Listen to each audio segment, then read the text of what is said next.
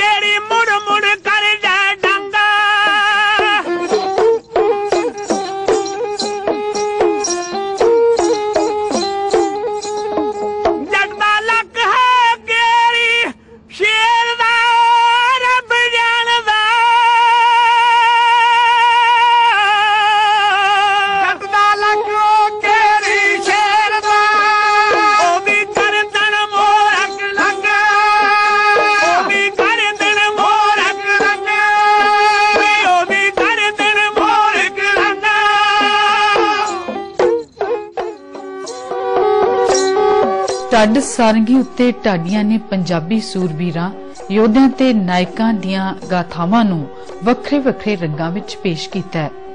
ਅੰਗ ਤੇ ਜੋੜਾ ਸਾਰੰਗੀ ਵਾਦਨ ਦੇ ਵਿਸ਼ੇਸ਼ ਅੰਦਾਜ਼ ਨੇ। ਮਿਰਜ਼ੇ ਨੂੰ ਇਹਨਾਂ ਦੋਵੇਂ ਰੰਗਾਂ ਵਿੱਚ ਗਾਇਆ ਜਾਂਦਾ ਹੈ।